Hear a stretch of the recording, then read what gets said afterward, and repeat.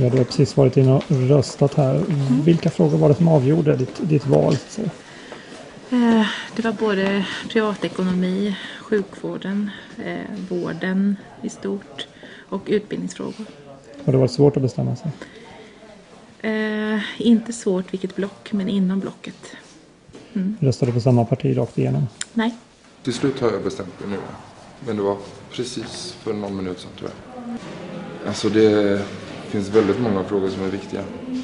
Men för min del så handlar det väldigt mycket om jäm, jämställdhet och människors lika värde. Jag- får nog hålla med föregående talare. Jag tyckte det var ganska svårt att se de ideologiska skillnaderna. Det tog alldeles för lång tid tycker jag. Det skulle ha kommit fram mycket tidigare än de sista dagarna. Har, har det blivit svårare att se skillnaderna på senare Ja, år? ja det tycker jag. Att de har eh, lagt sig väldigt, väldigt i mitten så då är det väldigt svårt att se. Kommunalvalet var jag klar tidigt med men, men eh, landsting och, eh, och eh, riksdagsvalet då- då var jag väldigt osäker. Vilka frågor var det då som, jag, som avgjorde så att säga, vilket parti du valde?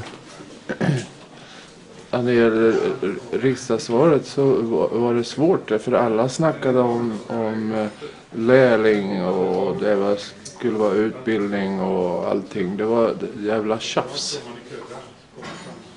Ursäkta uttrycket men det, jag tyckte det var tjafsigt. Den här sista valdebatten den var, det var pajkastning.